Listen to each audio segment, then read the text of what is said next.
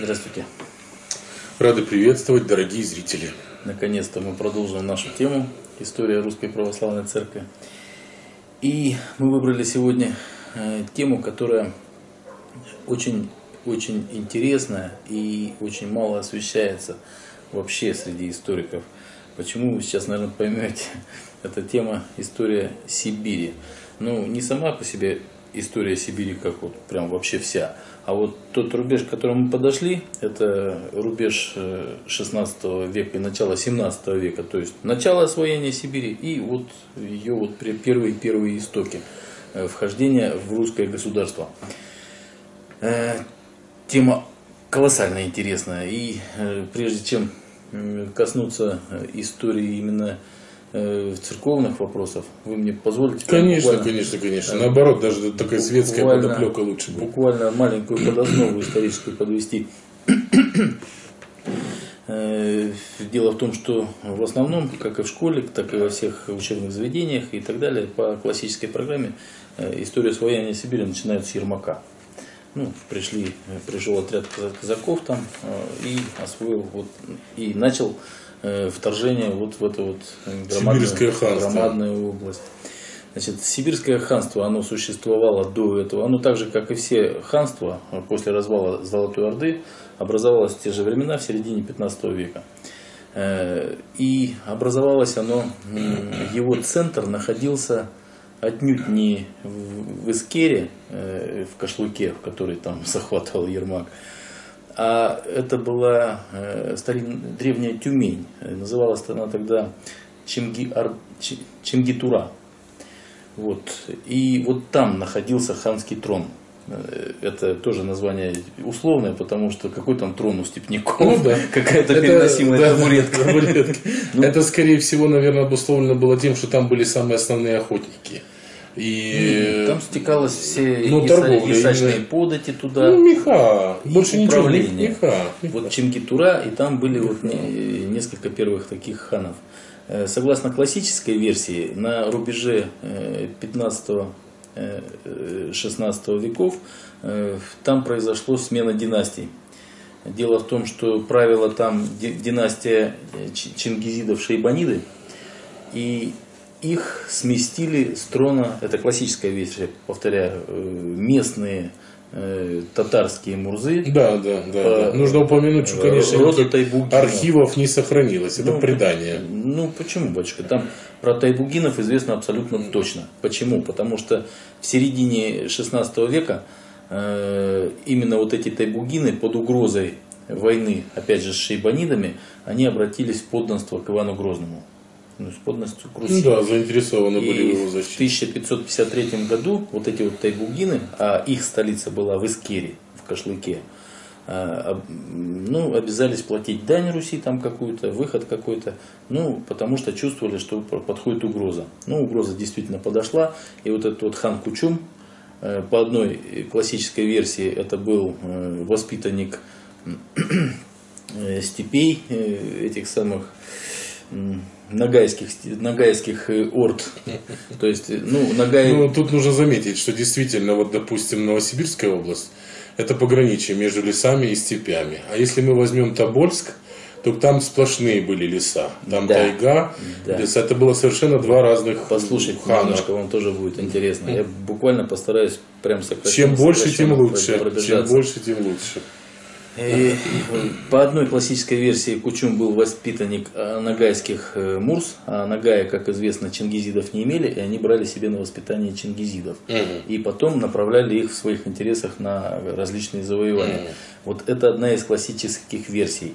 Э, а вторая тоже версия, недавно возникшая у, историк, у историков и довольно доказуемая, что он был сыном бухарского эмира, угу. но тоже династии Шейбанидов. Э, Кучум. Ну, то есть, так или иначе, э, это был очень высокопоставленный чингизид, и он э, своим захватом решил положение вот этих вот тайбугинов. Он их просто вырезал. Там был, тайбугины были хан Едигей и брат Бекбулат. Вот они как бы вдвоем. Ну, Кучум их захватил и уничтожил физически их обоих. Значит, и с этого момента, с 1555-7 года, не помню уже, немножко извините, э, началось правление Кучума. Это был очень такой деятельный э, человек. Он молодой был, у него было много сильный, энергии. Сильный правитель. Он поставил очень много Есть даже такие кое-какие слухи, что он э, при нем, когда он был маленький, был кто-то то ли грек, то ли перс, который обучал его грамоте еще. Ну, я почему обращаю внимание, говорю классическая версия и э, другие версии. Классическая версия, автор классической вот такой вот версии, э, это советский историк, великолепный историк Скрынников. На основе его исследований, кстати, поставлен фильм, знаменитый фильм «Ермак». Я вот считаю, это один из лучших исторических фильмов. Этих событиях. Да, и вот именно вот вся вот эта вот методика подхода к судьбе Ермака, это именно от профессора Скрынникова идет. Это считается классическая версия.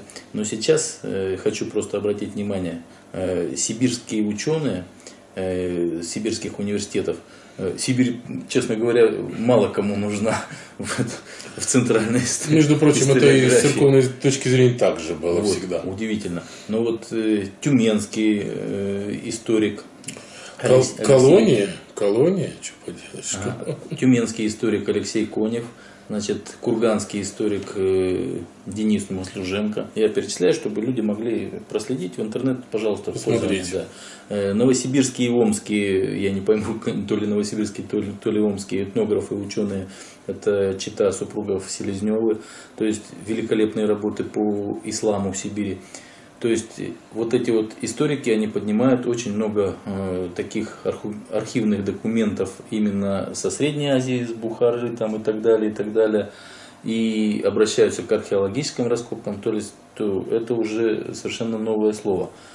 И поэтому там есть небольшое отклонение, от, уходят они немного от классической вот этой версии и говорят, что вот этот центр Тюмень, вот этот Чингитура, он был всегда. Он был под династией шейбанидов всегда.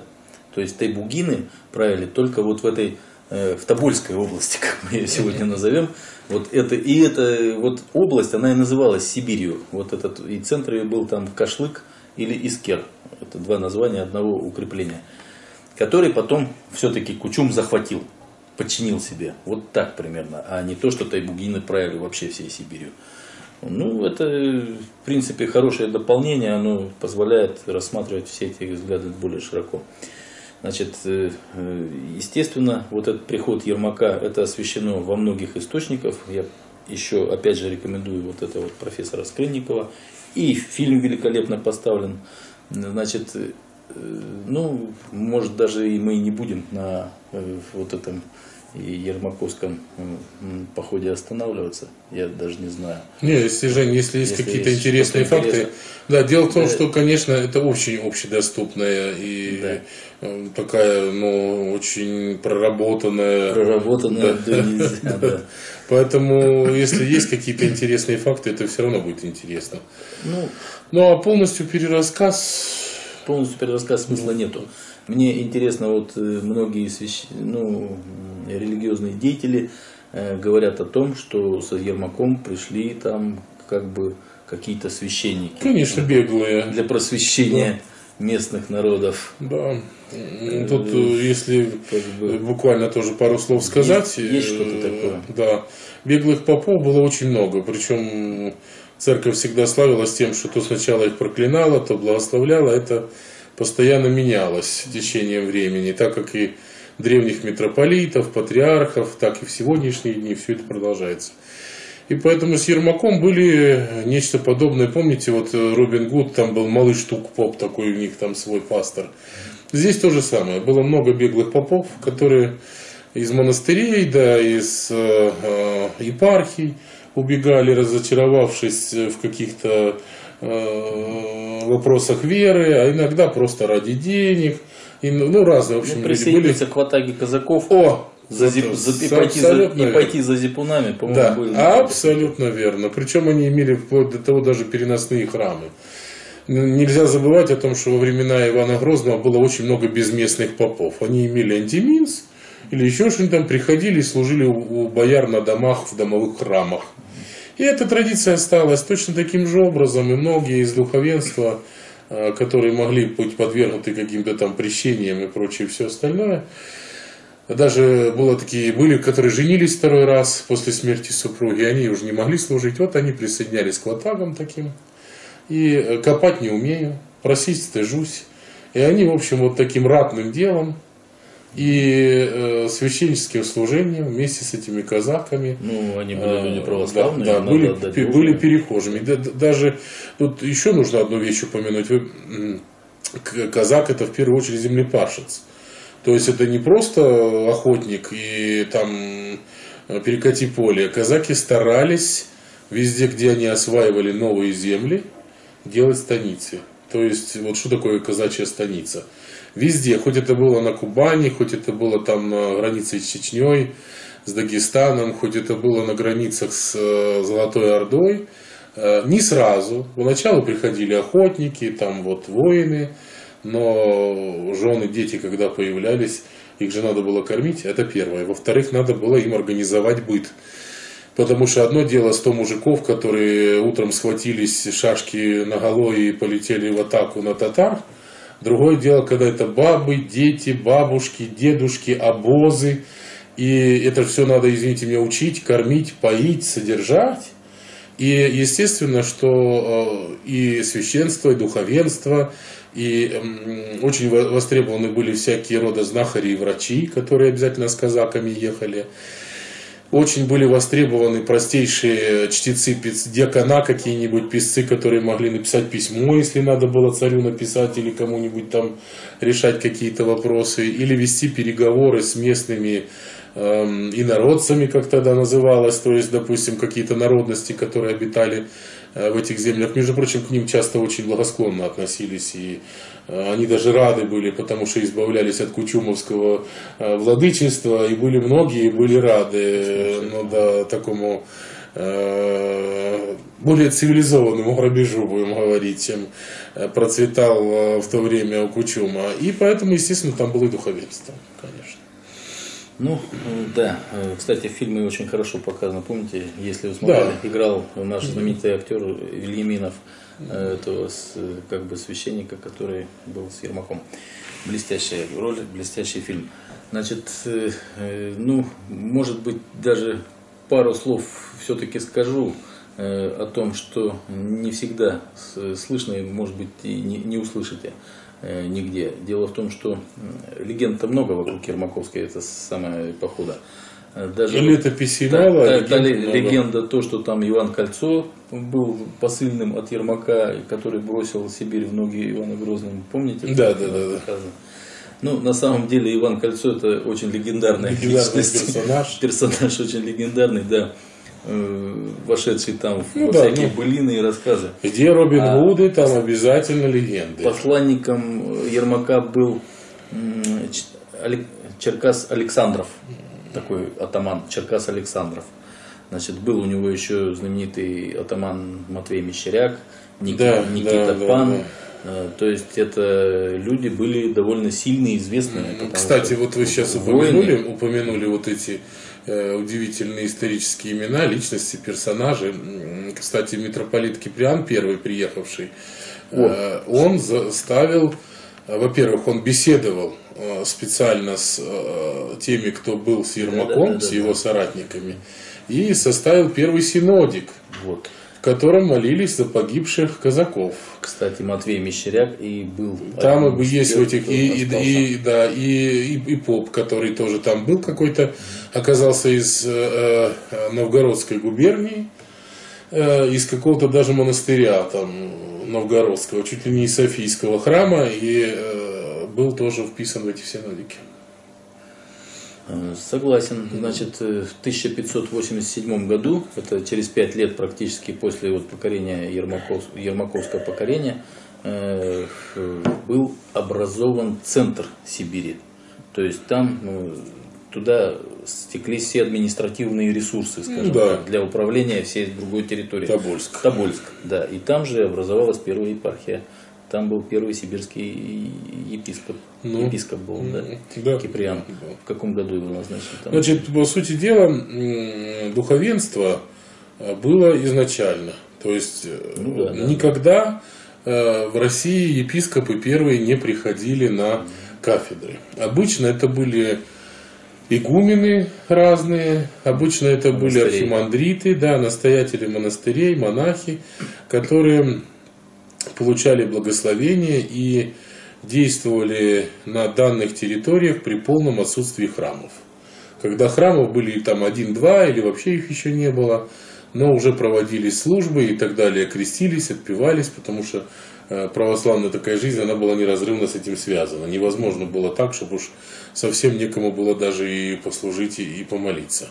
Поэтому, хотя э, мы имеем большой разрыв по времени в исторических событиях, Сибирь далеко, а Москва пока расчухается, у нее всегда было, знаете, уже вот как говорю, крести, приглашение на крестины, если, то приезжали обычно к отпеванию. Вот это уже, это всегда такая была давняя традиция, и э, Сибирь всегда была э, на последнем месте.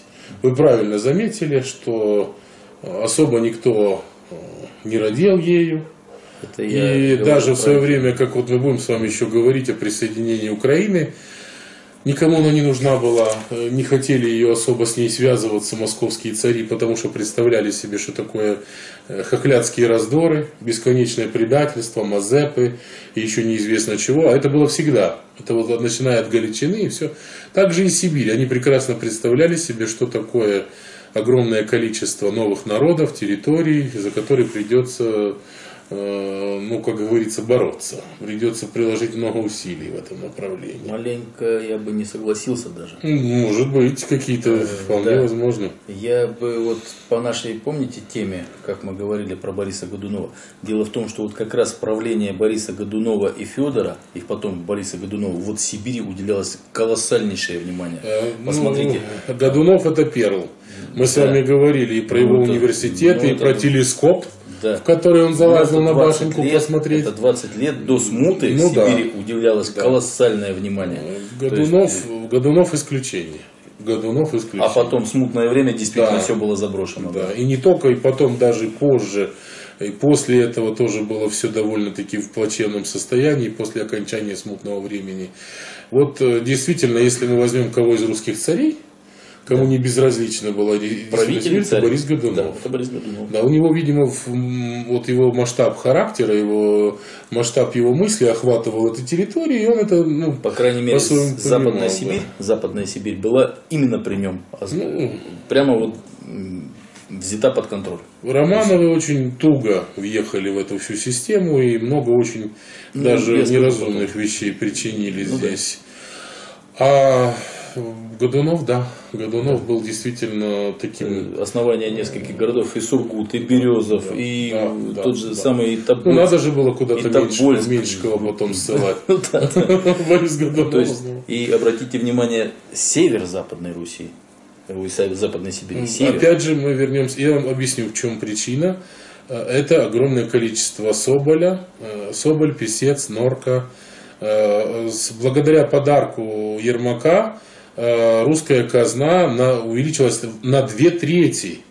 То есть, если у, у Ивана Грозного было, допустим, там 5 миллионов золотых рублей э, казна в год, то стало 15. Благодаря торговле, рухлядью сибирской, как называли, или называли сибирским золотом, в общем, мехами э, пушниной. пушниной. Ну что ж, давайте мы тогда посмотрим с вами, что же касается церковной линии да. В сибирской истории. Дело в том, что сразу же после вот и с Ермаком, и после Ермака, э, естественно, было много духовенства, монашества, которое здесь э, за казаками следовало и э, в православной казачьей жизни принимало глубокое участие. Но потихонечку, когда появились вот эти уже Тобольск и центры торговли Тобольской, и появился первый храм в городе Тобольске, зародилась мысль о том, что нужен сибирский епископ, который бы не ездил из Москвы, а там в Тобольске и управление свое осуществлял. И вот тут пала такая честь на э, э, святителя Киприана. Это был происхождением из Старой Руси человек, который был в Спасо-Хутынском монастыре архимандритом. Отметился тем, что при митрополите Исидоре Новгородском ездил в Швецию. Вы помните, когда при Шуйском был заключен договор со шведами, шведы особое участие приняли, ну это мы будем еще обязательно об этом скажу, время. смутные времена, да. При Шуйском был заключен со шведами договор, то была такая идея на Новгородское царство отделить. И чтобы было в Новгородском царстве, был шведский королевич Филипп.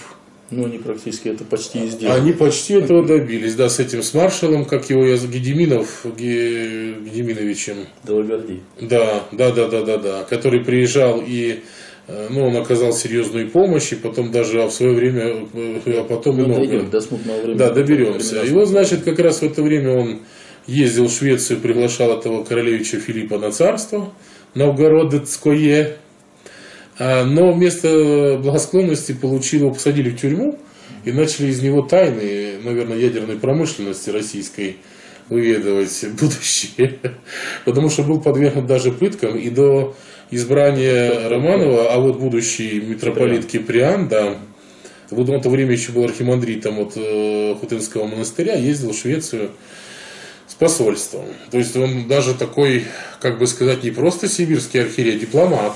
Ну, да. вот, со Швецией поддерживавший дипломатические отношения. Филарет. Нет, нет, нет. В 613 году, э, когда его отпустили после избра Земского собора, когда избрали Михаила Федоровича, Э, его отпустили, и в 2014 году он приехал в Москву, где перед царем держал ответ за вот эту поездку. То есть, что перед там... Михаилом, да, да, да, да.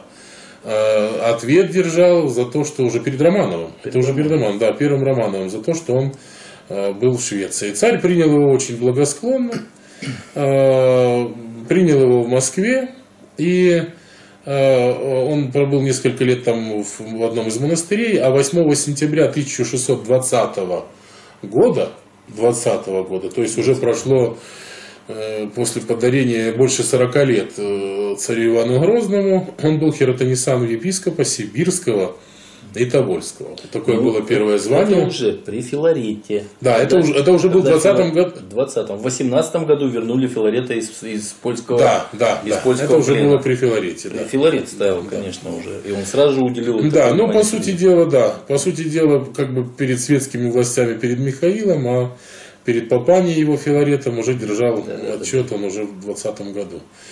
Ну, что, приезд его в Сибирь был весьма неожиданным. Почему? Потому что нрава он был жесткого, человек был очень грамотный,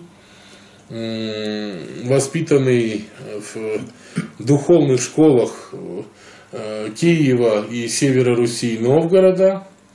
И к воровству он был очень строго, строгого отношения. А воеводы, которые в то время безраздельно хапнули власть. Во время здесь. смутного времени они просто... А они цари, боги были стали, местные, да. да местными Грабили они так, что темно было даже не тем, то, что э, полярная ночь, а от ихнего грабежа было э, темно просто. И люди, слезы, то есть они простое население, простой люд грабили до такой степени, что просто, как сообщают летописи, предания, плач и стон стоял. И восприняли они Киприана, конечно, в штыки, потому что он...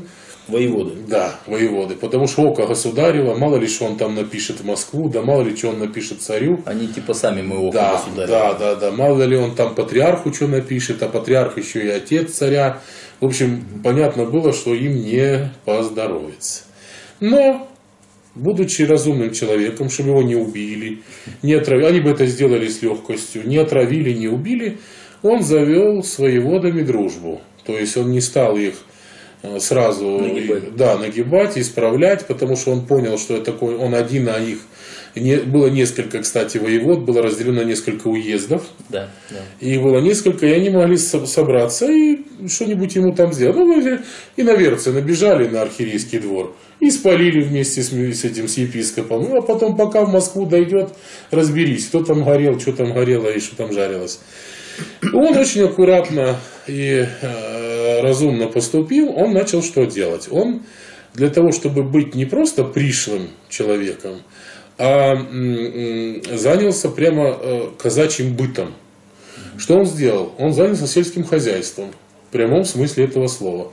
Конечно, там ничего толком не росло, но всякая брюква, ягода, еще кое-что вполне могло расти. И он прямо своим приказом основал две э, станицы казачьи, прямо станицы, то есть устройство и шло так же, как в южных областях России. Что на Краснодаре, например, Ставрополье, точно так же было и в Тобольске. Если воеводам было плевать на казачий быт, то он прямо стал, он э, приказал рубить э, специальные теплые избы.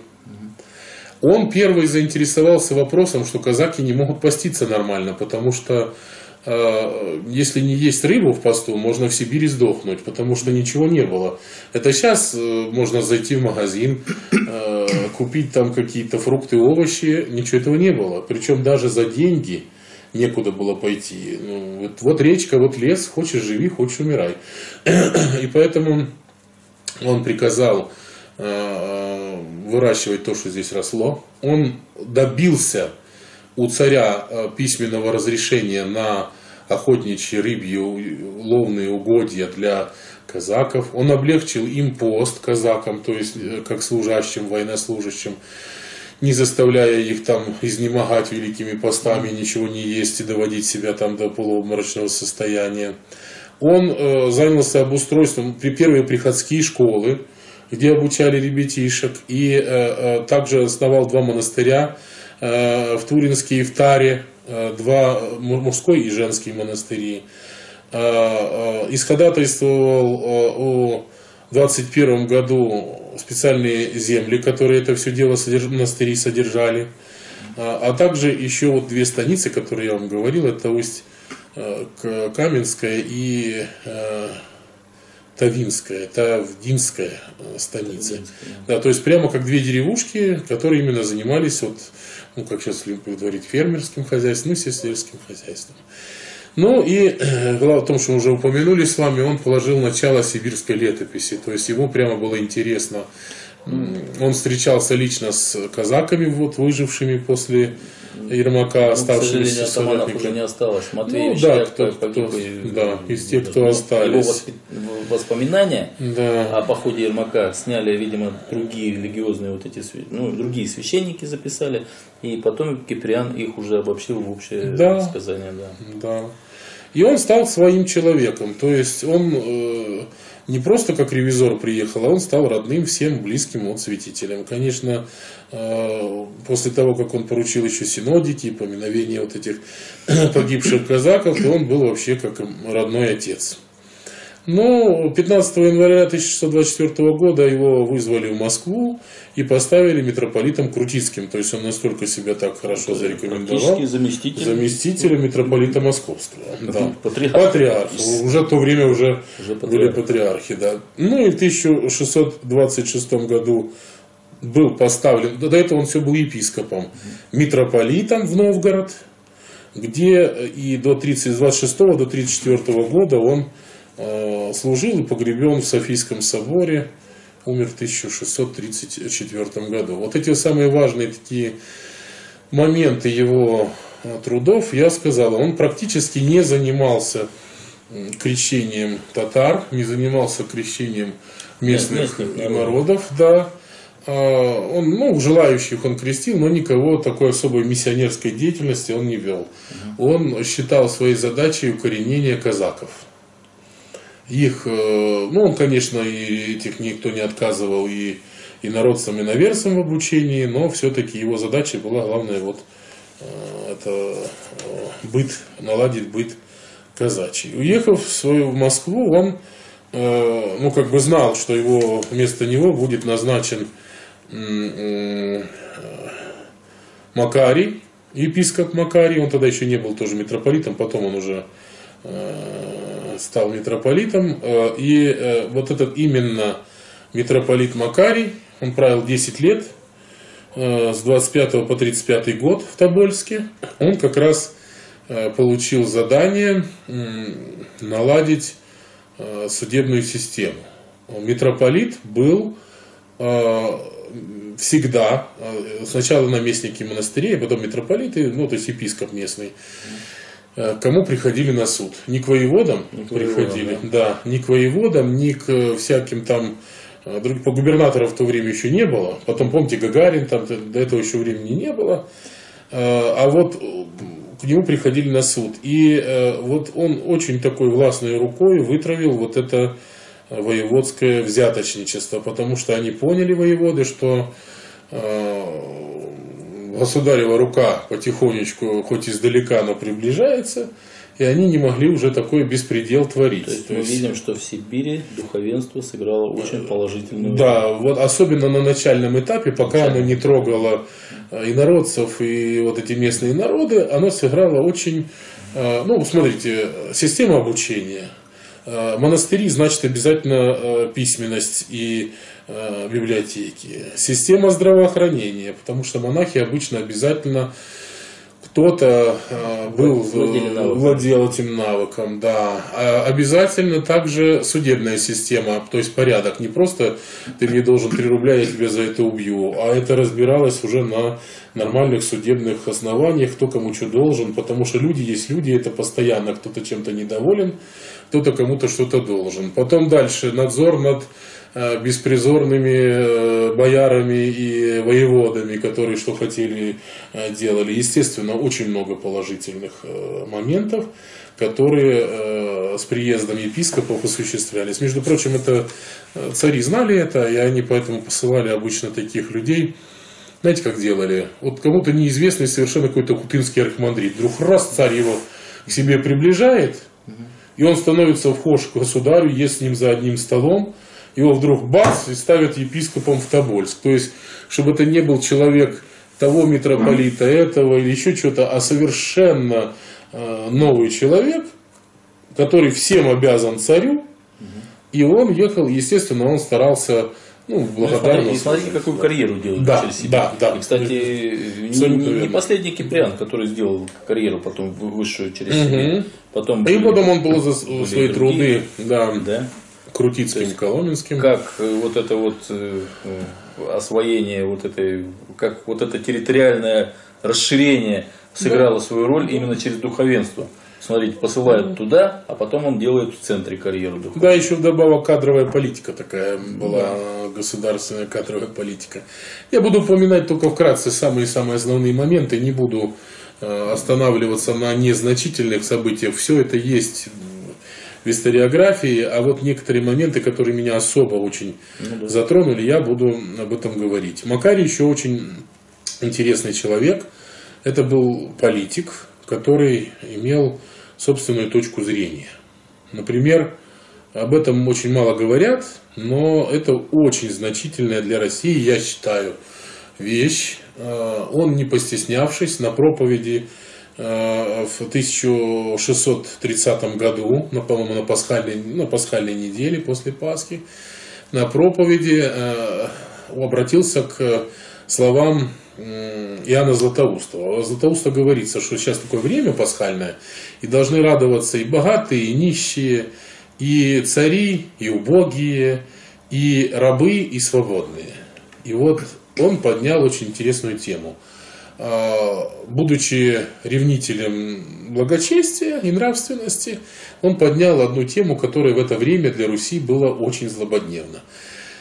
Э, Иван Грозный начал, потом Борис Годунов добавил, потом царь Федор еще больше закрепил, и Романовы в конце концов полностью закрепили крепостных крестьян. А это тема соборным уложением уложением 49-го да, года. 49 года.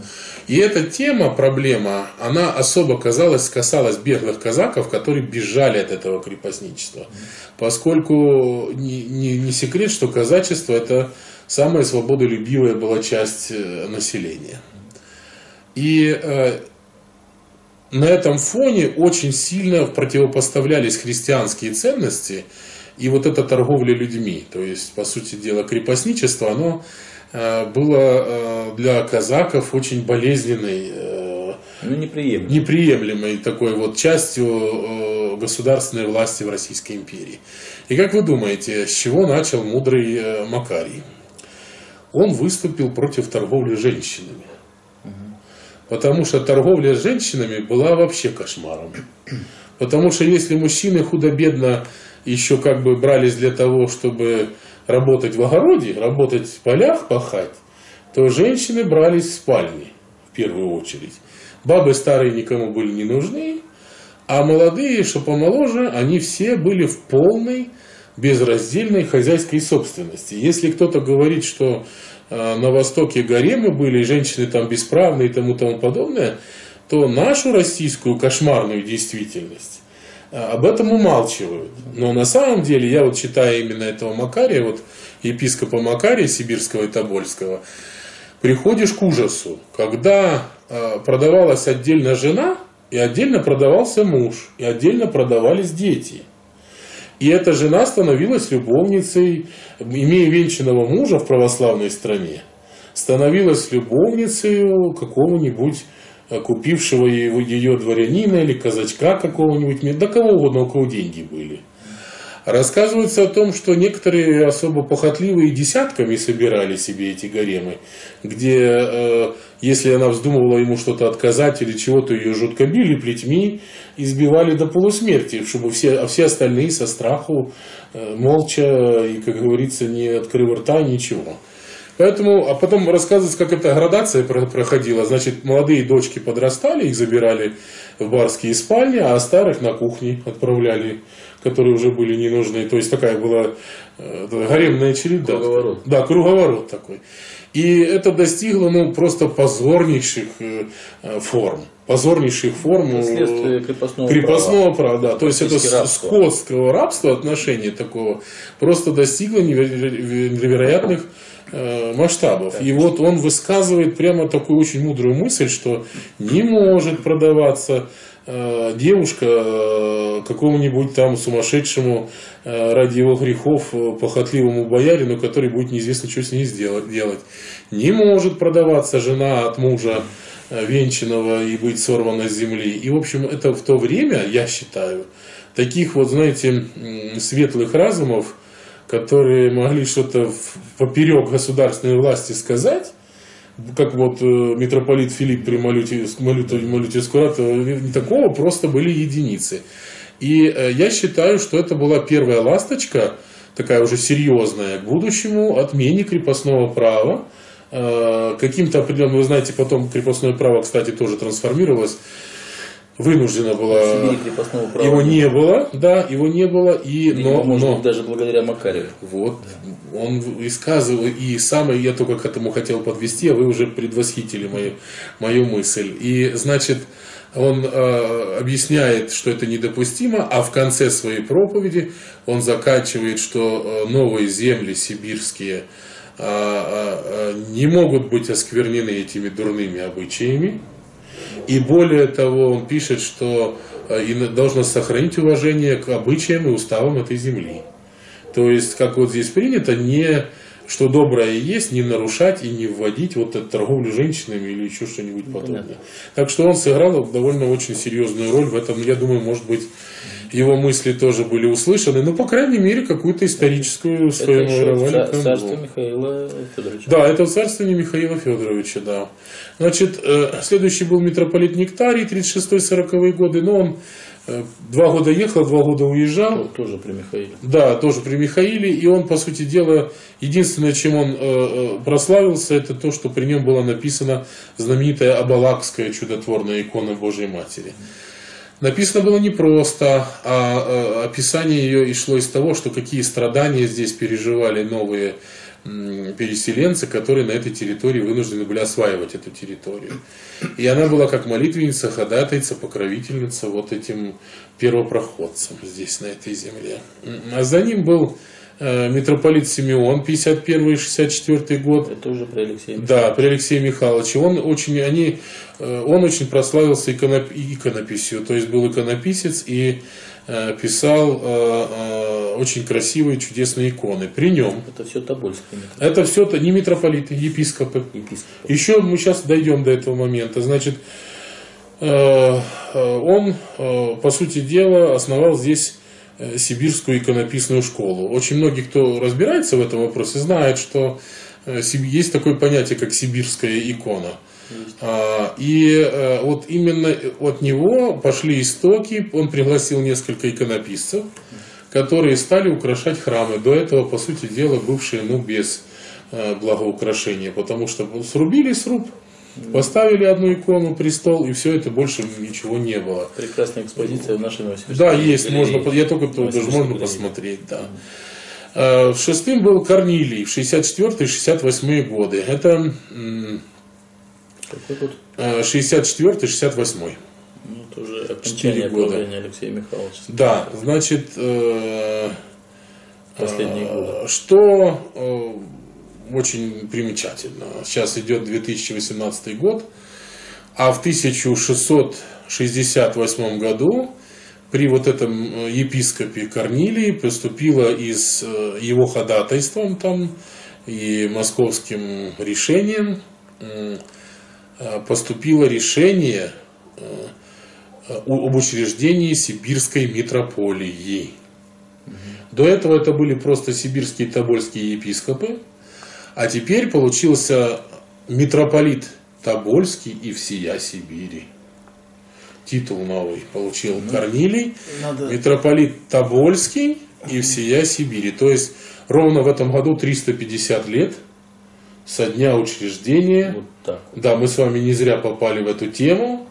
Э, вот прямо, и причем это было 6 сентября. То есть буквально вот... А наша метрополия празднует? Не знаю, празднует или нет. Не но... знает вообще. Да, да, вряд ли.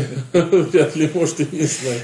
Значит, 350 лет вот со дня основания Сибирской митрополии. Митрополита э, Сибирского и Тобольского. Вот Корнилий был первым э, митрополитом сибирским и тобольским, Корнилий. Внимание... Епископом был первый э, Киприан, ага. а митрополитом сибирским первым стал Это уже Корнилий. после собора 1666 года, обратите внимание, где полностью утвердилась Никония. Да, да, старобрядцы сюда побежали, кстати. И старобрядцы сюда побежали, да. кстати. Это было, как, кстати, вот это его правление – это было одним из самых сложных моментов, потому что многие более благочестивых придерживались, считали, что старообрядцы более благочестивые. И... Сибирь вся старообрядческая. Да, да, да, да, да, да, да. И поэтому и казаки, и казаки, и все, они вынуждены были как бы вроде подчиняться митрополиту московскому, ну, наставленному Москвой, а все равно поддерживали больше старообрядцев, больше поддерживали старообрядцев. Но также интересно, он получил кучу привилегий с этим званием митрополита Сибирского, э, Тобольского и всей Сибири. Он получил право служить в Сакосе, то есть это особое такое архиерейское патриаршее облачение. Э, потом он получил право э, благословения дикирием и трикирием, который не было до этого. Это только митрополичи всякие, ну, принадлежности архиерейского богослужения. Да. Потом он получил право, э, как патриарх, въезжать на вербное воскресенье в Москву, этот в Тобольск на осле. На осле. Да, и еще его этот Гагарин тогда уже был как раз этот... Не на верблюде? нет, на осле. На осле. Нет, Гагарина еще не было. Матвей Гагарин при Петре Первом, он же его повесил потом. Ну да, он уже, да, да, да, да. Он Это ну, не, значит, кто-то до него был, да, там, вот. Может, не один Гагарин был, бог их знает, там, да.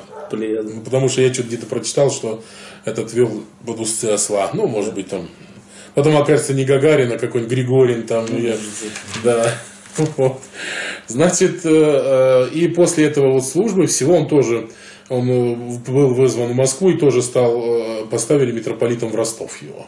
Ну, То есть кадровая политика и шла. карьера да, из Сибири да. делаешь.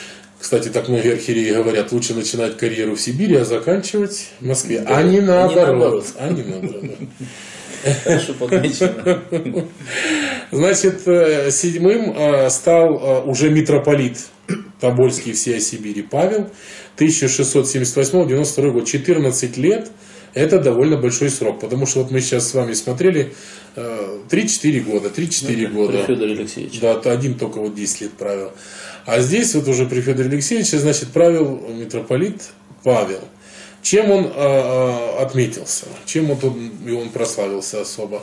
Это первый митрополит, который занялся здесь миссионерской деятельностью. До этого она была, конечно, но в очень скромных формах. Начал а, просвещать а, наш, да, наших братьев. Да, начал просвещать наших братьев. Что он сделал? Он выписал из э, э, э, Киево-Печерского монастыря игумена Феодосия, который приехал сюда с 12 монахами. И э, отправил его вдоль как бы будущего сибирского вот этого великого тракта в Забайкалье аж на реку Селенгу, где там был основан монастырь. И ему было доложено, что вот там крещено. В общем, он крестил до 40 э, тысяч человек. Здесь э, условно. условно да, конечно, конечно. Вот, но его первое дело, вот это, понимаете, уже, значит, за Байкалье заглянули. За, ну, да. Аж за Байкал была первая миссия христианская. Маленькое уточнение да, скажу да. для зрителей. Значит, э, народ Сибири при этом административно делился на две категории. Э, русское православное население, в том числе тех, которых крестили, ну, да, и да, ясачное население, которые просто платили, платили да, ясак да. обрук царю. Да, не будучи православными. С ними не ссорились, просто Были целый ряд законов, которые им позволяли, даже привилегии давали. То есть, чтобы их не ущемляли и э, никоим образом над ними Они не глумились. тоже могли обращаться в судебные да, органы. Да, и, между прочим, к тем же самым митрополитам. Тем же самым митрополитам. Э, значит, э, после него, буквально тоже тут несколько лет, а после него, значит, на несколько лет был митрополит Игнатий, 1697-701 год. Это уже Петр I при Петре I. И чем ознаменовался Игнатий, даже свое краткое правление, его главным трудом была первая миссия в Пекин. И первый храм, который православный был построен в Пекине. Ничего удивительного, ведь когда шли наши завоевания, завоевания да. казачьи, они все-таки столкнулись с китайцами. Да, с да, и китайцы разгромили. На Востоке. Они э, столкнулись, да. и вот это вот противостояние началось так тогда. Так до сих Продолжается, да. Но они э, было первое такая, в общем, разгром Абалазина города этого. Там такой был небольшой остров. И после этого разгрома э, некоторых увезли в Пекин, а они там вдобавок начали христианскую миссию, то есть построили первый храм. И получилось, что из скорби в радость. из скорби в радость. Ну, Дальше примечательный факт. Да, настоящая примечательная деятельность. Дальше идут два святых святителя. Э, Дмитрий Ростовский, который был назначен митрополитом сибирским, но он не поехал сюда. И числился год 701 по 702 год митрополитом, но он не поехал, пожаловавшись на состояние здоровья, и его отправили в Ростов. В Ростов, где он написал Читименеи. Ну, хитрый. Да, но сюда не приехал. Но год числился, числился митрополитом. Читименеи это он? Да, да, да, да, да, это он составил жития святых. Ну и, конечно, десятый, это святитель Филофей. Он правил здесь почти 10 лет, 9 лет, и оказался очень деятельным черниговским Э, э, епископом. Он был архиепископом в Чернигове, а это из Хохлов, такой вот бодрый товарищ. И он, значит, здесь развернул бурную, они бурную деятельность. Да, везде они все, хохлы захватили, да. И вот он развернул здесь бурную, бурную деятельность. 9, за 9 лет своего правления он построил 37 храмов, причем и на свои деньги, и на государственные, и на пожертвования, и все что угодно. Принуждал к крещению, то есть крестили всех практически. Уже насильно. Насильно крестили, да, не спрашивая их разрешения. Гнали старообрядцев, ловили везде по всем кустам, э, по всяким алтаям и везде, где только можно было. Ну, брал детей местных э, э, на обучение, то есть он брал ребятишек прямо из всяких илиутов и прочих всех народностей, которые тут обитали и брал их в Тобольск, где была такая школа греко-латинская, где ребятишек учили. Некоторые из них, кстати, потом тоже стали священниками и даже епископами. Но все это было довольно болезненно, потому что э, ну, не всегда добровольно было. Не всегда было добровольно. Там за долги и что хочешь. Вот это как раз был, вот, вот Гагарин был точно здесь уже, губернатор. И вот с губернатором это было у них два сапога пара. Они проводили политику Петра Первого довольно жесткую и э, не всегда очень, даже я бы сказал, не всегда разумную, потому что мы потом в конце еще пару слов об этом скажем. Но также он сделал два добрых дела. Его первая миссия на Камчатку была в 1705 году. Он отправил первых миссионеров на Камчадалом.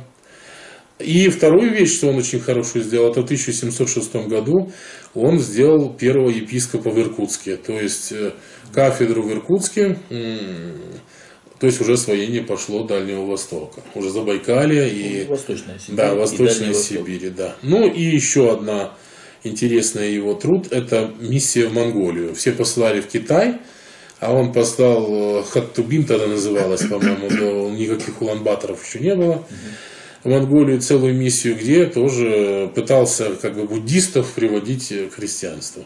Э, в 709 году принял схему, а в 11 году скончался в Тобольске. Мы всех будем проходить. Да, мы буквально мы закончим и до, до упразднения метрополии. Ничего, ничего. Да, нормально. буквально, чтобы к этой теме не возвращаться. Да, а потом, да, да. уже там, когда дойдем до более поздних времен, до Екатерины там и прочее, самый момент, когда был Дальний Восток, мы еще затронем, там Ну, есть вот. интересно несколько моментов, там буквально немножко. Ну, значит, одиннадцатым был Иоанн э, Максимович. Я, видите, я их даже не... э, Я только один боролся за права женщин, другие основал миссию, э, миссию в Камчат. Я вот хотел бы именно вот на такие моменты Ну, обратить все они внимание. выходцы из украино-польско-литовских земель. Вот это уже только вот эти, которые были при, Прямо при пошли, Петре. вот. при Петре, да. Прямо пошли, пошли, да. Ну вот, Ян Максимович, архиепископ Черниговский. Вот, значит, э, 11-15, 4 года всего здесь был, но э, более всего всех усилий предложил э, отправлению священников в Китай. Э, Крестил много китайцев. Буквально после него 15-21 год, ну что то 6 лет, Федор Лещинский, ну, поляк. Я и говорю, что говорить, там да. кого не возьми. Да, значит, э, э, он чем интересен? Вот чем, чем интересно? Наши вот сидели в Тобольске, и никто задницу не оторвал от горнего места. А этот сразу вот из Тобольска, да куда? Да в Забайкалье, да на, на лошадях, на телегах. Верх, э, Верхнеудинск, э, Керчен, э, Нерчинск, Нет. Да, Селенгинск и так далее и тому подобное. Он везде в этих городах построил храмы, сам лично объездил все. А в э, э, 20 году, 1720 года, это была первая вот эта э, такая серьезная толковая миссия в Китай была отправлена с переводом священного писания и т.д. и т.п.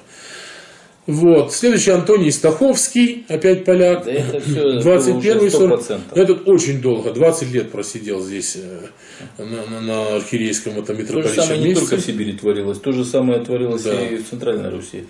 Значит, Только э, в выходцы. 27 году посетил Иркутскую епархию э, и везде назначил уже первых благочинных наместников монастырей, которые в его отсутствие совершали уже суд и порядок даже за Байкалом.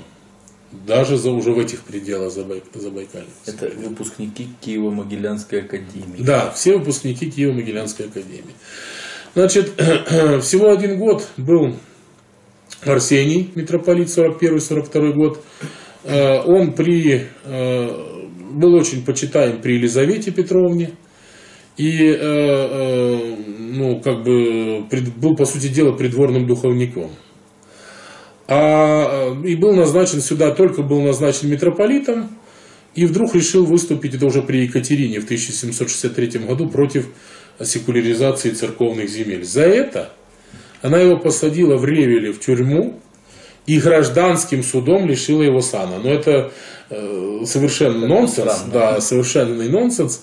Э, примечателен факт, что в 22 году э, решением э, патриарха Тихона Белавина был он восстановлен там, хотя этого тоже делать нельзя. Э, В общем, это все такая вот историческая справка, был восстановлен он в Сане. Такая церковная бадья. Да, бадья такая, бадяга церковная. Вот что сейчас на Украине, то вот это вот такое было и раньше. Ну, в 16-м был Антоний Нарожницкий, второй, все 42-48 год, да, 1742-48 год. Потом Сильвестр э, Головацкий, Это да, при Елизавете. 48-55 год, да, как раз до смерти Елизаветы. Ну и в 18-м был Павел II, правивший с 58 по 68 год. Уже метро... Это все метрополит. Да, это все митрополиты Тобольские. И всея Си- Сибири. Да.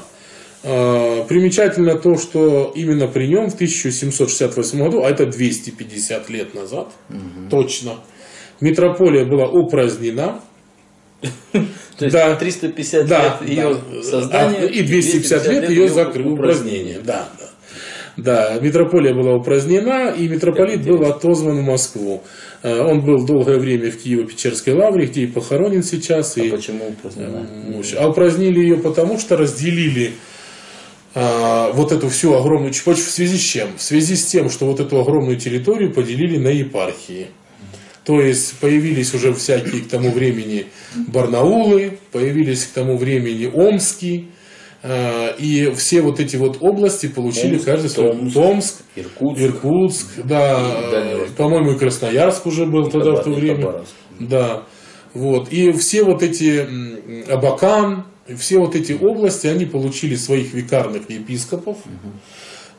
И э, они самостоятельно управляли уже маленькими своими, не вот этой огромной территорией, которая, наверное, была больше, чем вся Европа, э, да, и управляли ею, но уже своими небольшими территориями. А сейчас это разделили еще в 60 раз, и теперь каждой деревне свой митрополит. сидит митрополит, да, который там коров пасет и, и крестики набирает, которые бабушкам в воскресенье будут продавать. Вот это такая есть ну, может быть, сибирская может. история. Так, ну ладно, это мы прошлись вот буквально по, по Сибири, да. Сибири. Именно создание метрополии и да. упразднение. Да, ну, да. очень интересно. Теперь буквально, если вы сейчас еще что-то скажете, у меня есть Конечно. буквально два слова потом. Хорошо? Не, я хотел, если мы вперед ушли, я хотел немножко нас вернуть все-таки мы будем продолжать наши беседы, да, да, беседы да. и начинаем мы про смутное время. И да, его, я сейчас тогда давайте я скажу пару слов. А потом да. Лучше вы Значит, скажите. что я хотел? Я хотел вывод из этого всего да. сделать. Значит, э, э, с точки зрения судебной системы, с точки зрения налоговой системы, с точки зрения защиты от побора всяких набежчиков, кочевников и раздоров, э, это было, конечно, огромный шаг вперед в цивилизацию образованность, медицина и прочее, конечно, пришло ну, несравнимо с тем, что было. Но, с другой стороны, были и минусы у этого всего. Огромный минус был слом э, петровскими митрополитами, слом быта э, э, инородцев, слом быта местных народностей, которые здесь жили. Да, то есть Э, крещенный человек становился изгоем, он не мог вписаться нет, в общество. Нет, да, не, нет, нет, нет, именно крещенный человек. Если кто-то решил принять крещение, да, ну вот живет кто-то в юрте, все кланяются тенгри, э, молятся, а среди своих. Да, да, среди своих он становился изгоем. То есть, если он попадал в какую-нибудь там латинскую, греко-латинскую академию, это было одно, он там мог карьеру сделать и все. А простому человеку креститься было очень проблематично, потому что э, для этого надо было совершенно изменить образ жизни, посты начинать соблюдать, другие совсем условия брака, воспитание детей. В общем, православие, оно требовало своих законов.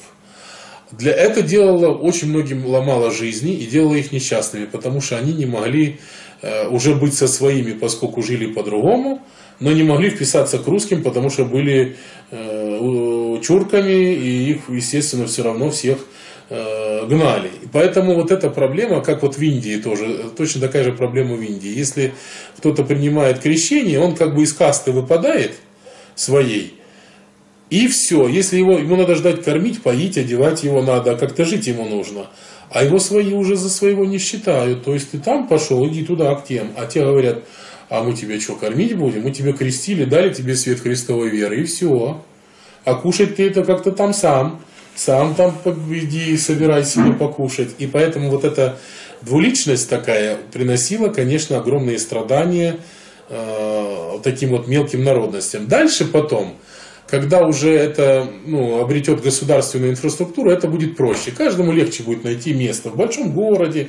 Уж каждый мог выбрать себе все. А вот на начальном этапе это принесло и просвещение, и здравоохранение, и науку, все, но с другой стороны оно принесло а, слом а, быта коренных народностей, точно так же, как в Америке американцы со своими методистами, протестантами, которые 20 а, миллионов индейцев просто убили. Слава богу, наши тут не убивали никого. Не было вот такого планомерного геноцида местных народностей не было Война, совершенно. война была. Да, да, была война, но это было так, такие кратковременно, стычки. да, стычки, да.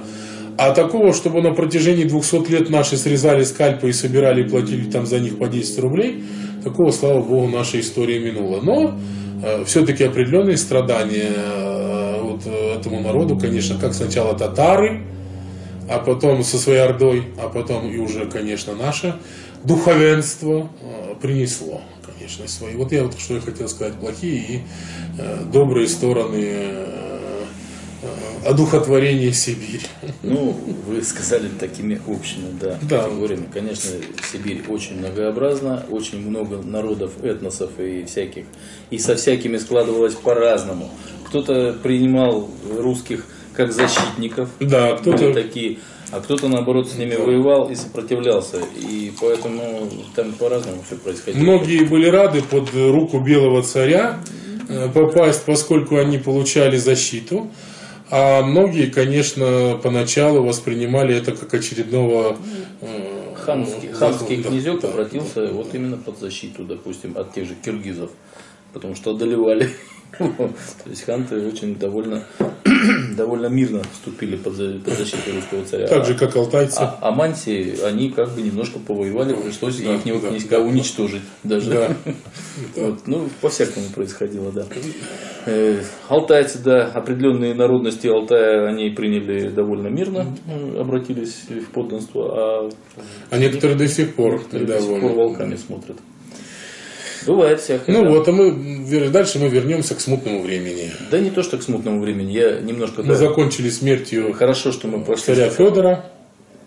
Ну, мы ничем не закончили. Мы, скажем так, закончили тем, что Ермак пришел, Да. завоевал, Ну да. и образовалась Тобольская епископская, Тобольская столица, Тобольск, столица Сибири. Сибирская столица. Да. А, кстати, этом- кстати, э, был титул такой э, митрополит царствующего града Тобольска и всея Сибири. Всея Сибири.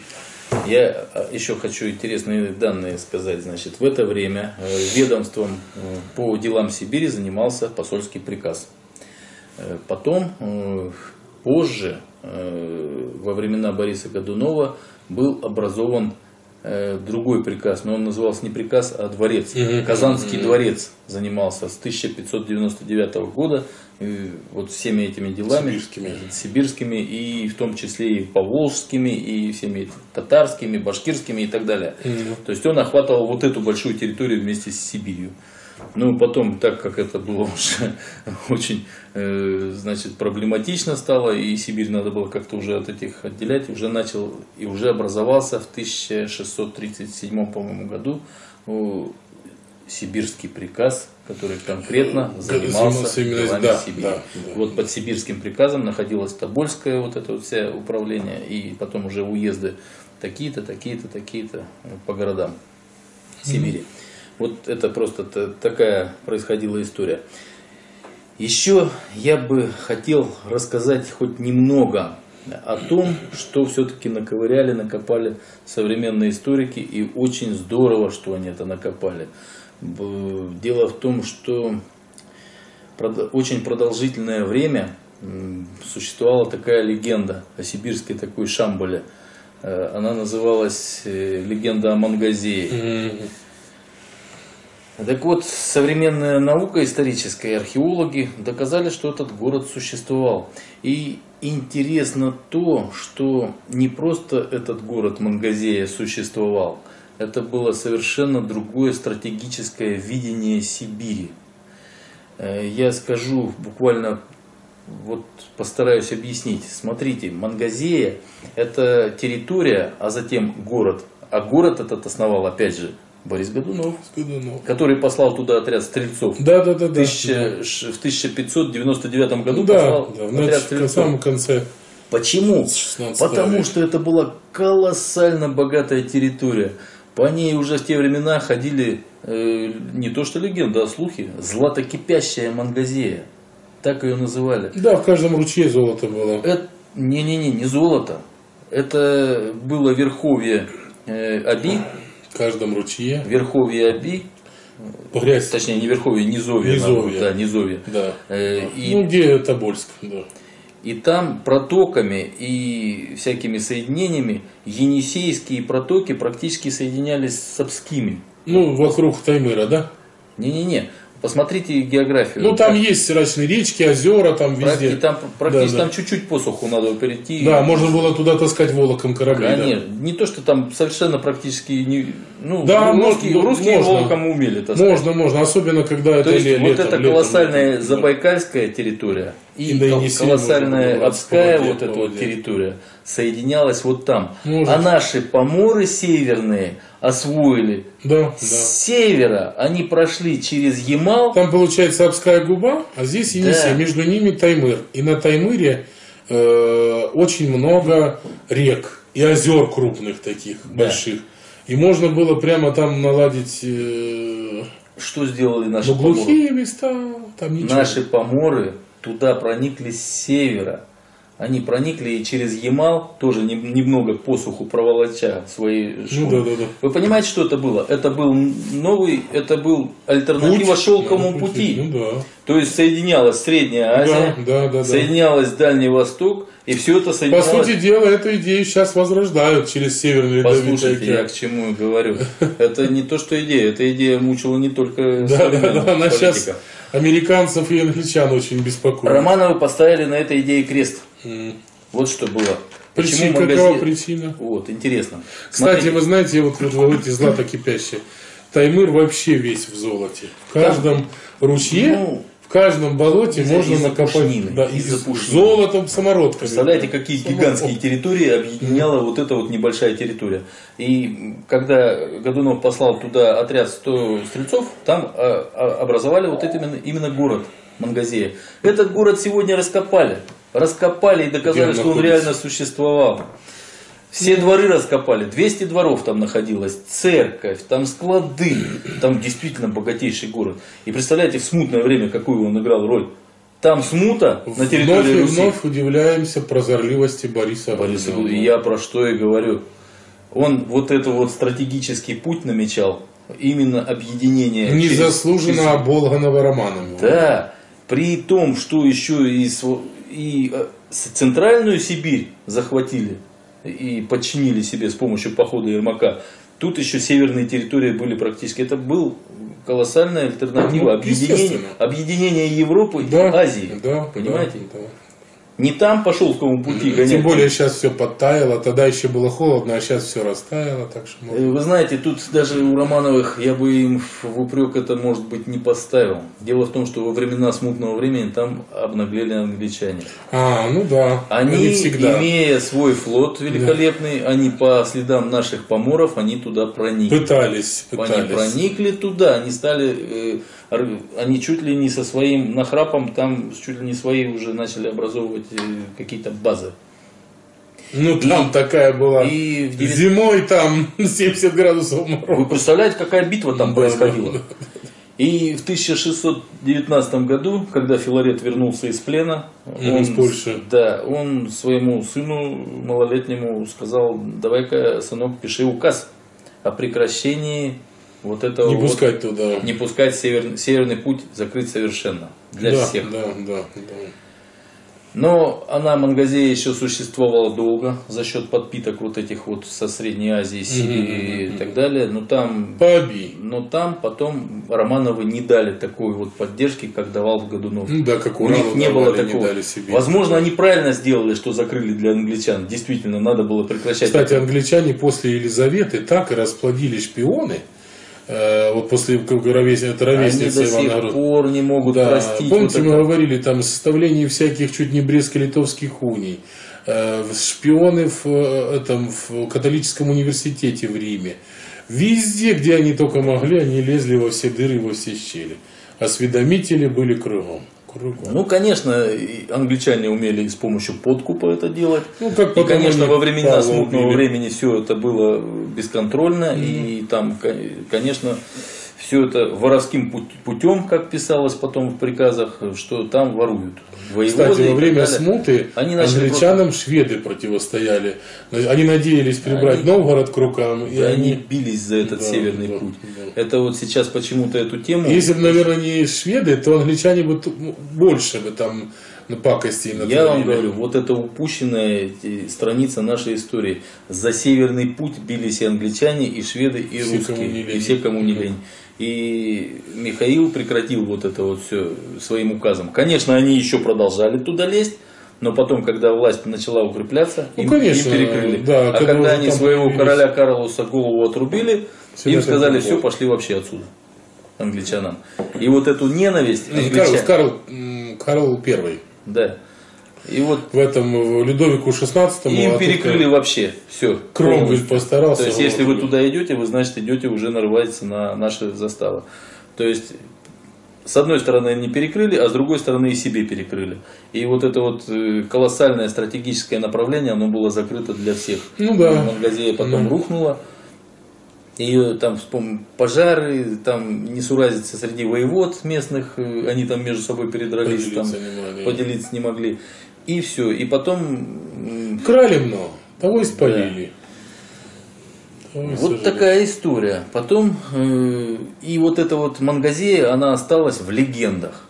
Я вам скажу, я даже на Алтае был. С... Ну, есть же Василий Мангазейский, там есть святые, Василий, которые... Василий Мангазейский, это, ну, просто паренек 20-летний, который пострадал за неправду. Mm, ну, за правду. Но за слово, слово-то сохр... титул сохранился. Да. Слово. Ну, как обычно у нас бывает. Ну, как Борис и Глеб, ничего такого особо не совершив, их просто Да, убили, я знаю, знаю, да. да и да, они да. стали святыми. Так и Василий Мангазин. Страстотерпцы. Его обвинили в краже, пытали и запытали до смерти. Он ни в чем не признался.